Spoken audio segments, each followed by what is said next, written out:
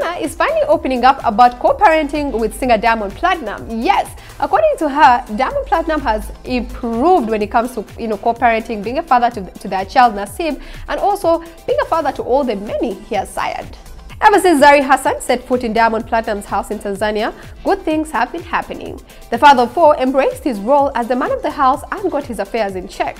His youngest, baby mama Tanasha Donna, even attested to the fact that the Jeje singer is now a changed man and a focused father.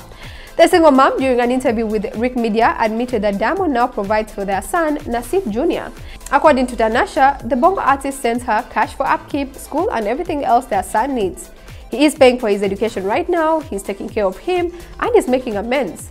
The 25-year-old musician also added that she was proud of how far Diamond has come and how much he's trying to form a connection with all his kids.